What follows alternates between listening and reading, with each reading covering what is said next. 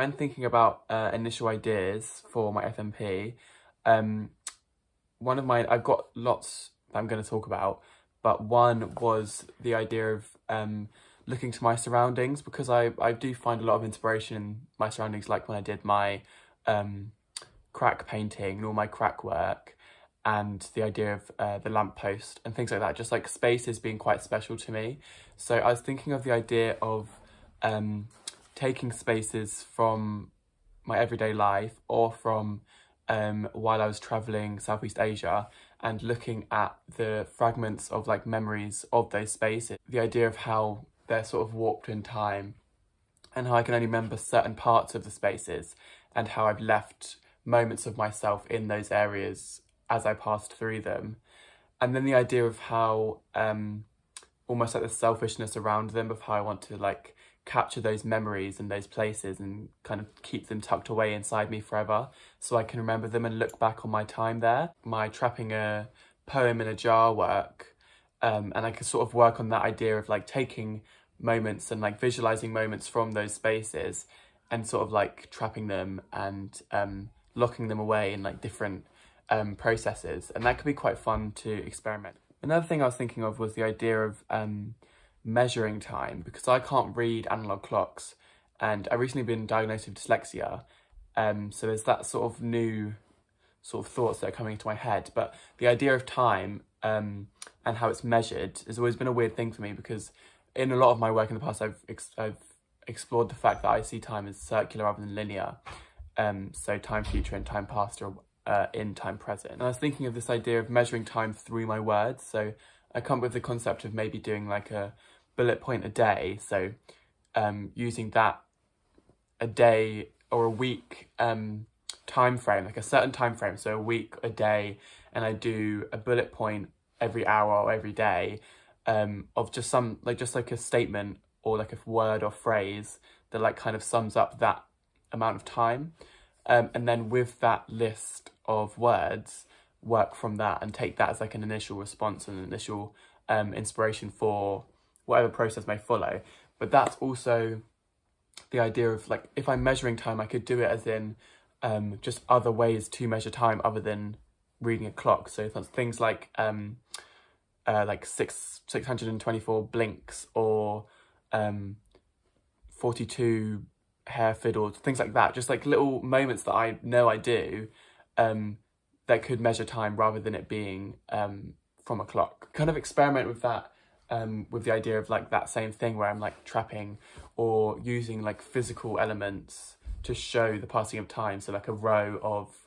uh, fingernails or things like that that could show passing of time. Another thing I was thinking about would be um, my use of light because I touched on it briefly when I was doing my lamppost experiment work and the idea of how light moves, but I think I could really explore light as being the main um, concept and area for my artwork because um, I really like this idea of making work and then showing it from behind when it's lit from behind. So I did a, I kind of um, briefly look at it when I'm doing my work. It's just a natural thing where I lift it up and hold it to the light, but um, I hold it face, so the artwork's facing me, the paper is facing the light, so it almost becomes, the paper becomes like translucent. I can see these fragments from the back and it kind of just creates this weird viewpoint of my work. And I, I like the idea of making work, even if it's a collage or a drawing or painting or something two-dimensional, and then turning it around and viewing it when it's lit from the back and it's just these fragments of of the artwork that you can see. And I quite like the idea of, of there's being quite like a ambiguous effect to it. And I could also look at the idea of like um, the movement of light or the behaviours of light and I could just really focus on light and then all my experiments could be around this idea of how light moves, how light is perceived, how I use the light and things like that. That would be quite fun um, to play around with as like that as like a main source to base all of my artwork around, which could um, be quite interesting and just quite fun. Another concept that I've kind of had in my mind for quite a while, and I'm still not really sure how I would um, go about working with it, was this idea of my mother's maiden name, so my um, grandma's name, uh, being Crow. And just sort of like the the Christianity aspect behind it and the idea of names and what they mean and the fact that because my nan had um, two daughters, that name's just completely lost now, other than her distant family. And it could be quite a nice um, word to visualize, the word of crow, because the physicality of a crow,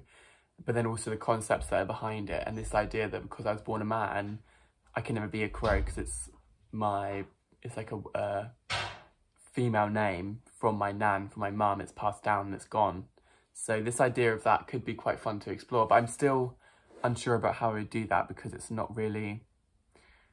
as straightforward as my other concepts. But I quite like the idea of doing that and I could do a poem about that and sort of bring that into it. But I do quite like the idea of that maybe not having a poem aspect and that being purely uh, conceptual. And I could explore with like ink and that sort of stuff. But that's very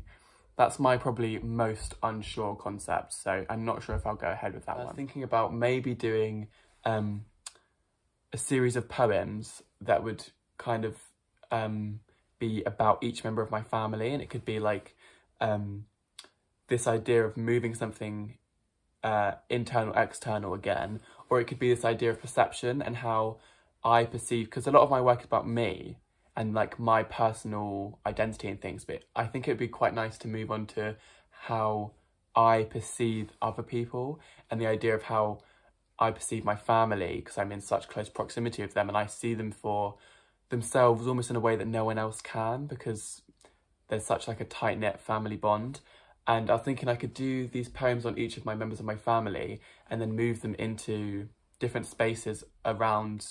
um, like my hometown, and I could do this idea of how trees hold words and how trees are almost like a natural frame for my words, or I could um, write my words on like bits of ribbon and tie them around trees, so it becomes like this knotted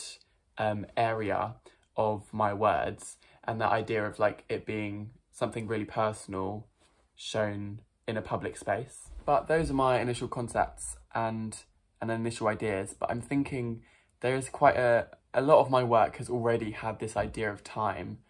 um, throughout basically my entirety of the foundation year, but I do enjoy it, so that's why I keep coming back to it. So I think no matter what one of these ideas I pick, or if I merge some of them, I think it could end up being quite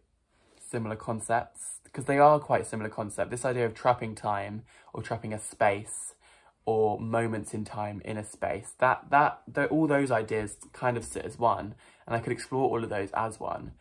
Um, but it's just whether I want to do that or if I want to choose one of my smaller, more precise concepts. Um, but yeah, I'd have to decide that soon.